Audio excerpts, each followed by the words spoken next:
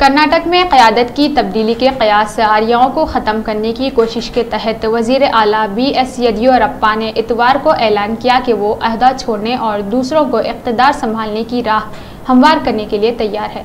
Party के कुछ रहनुमाओं और काबीना के मेंबर के अपने तर्ज अमल के बारे में मुबैना तौर पर दिए गए बयान से परेशान मिस्टर येदियुरप्पा ने यहाँ सहाफ़ियों को बताया कि अगर पार्टी के आला क़्यादत चाहे तो मैं अपने अहदे से इस्तीफ़ा देने के लिए तैयार हूँ।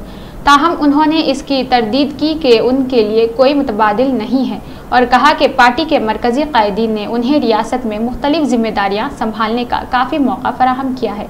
उन्होंने कहा कि बहुत से रहनुमा ऐसे हैं जो रियासत का चार्ज संभाल सकते हैं। पार्टी के कुछ रहनुमाओं पर बरहमी का इजहार करते हुए जो रियासती हुकूमत के काम काज पर खुले आम तनकीद कर रहे हैं, उन्होंने कहा, मैं चाहता हूँ कि पार्टी की अली क़्यादत ऐसी हरकतों को रोकने के लिए इकदाम करे। वाज रहे कि रियासती वज़ीर ट्रांसपोर्ट सी पी योगेश्वर ने अपने बयान में अवामी तौर पर कहा था कि रियासत में बीजेपी की कोई हुकूमत नहीं है, बल्कि तीन पार्टियों की समझ वाली हुकूमत है।